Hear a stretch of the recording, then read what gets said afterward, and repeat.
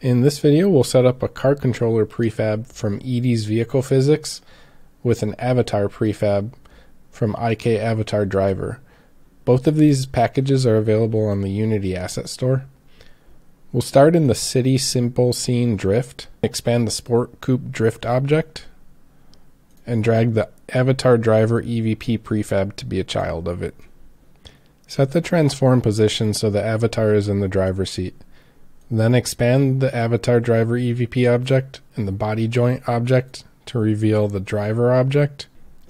Assign the Sport Coupe Drift object to the vehicle rigid body field on the avatar driver script. Assign it to the EVP audio field on the avatar driver EVP reference script as well.